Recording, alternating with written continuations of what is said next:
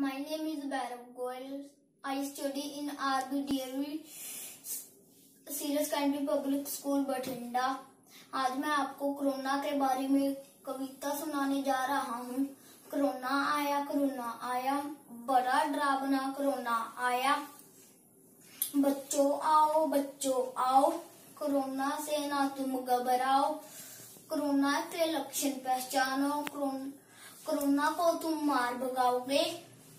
corona के लक्षण चार, खांसी, दर्द, थकान, बुखार, अपने हाथ अच्छे से धोना, बीमार वक्त से दूर रहना, बाहर से आके खूब नहाना, बुखार हो तो डॉक्टर को बुलाना, खांसी हो तो मास्क पहनना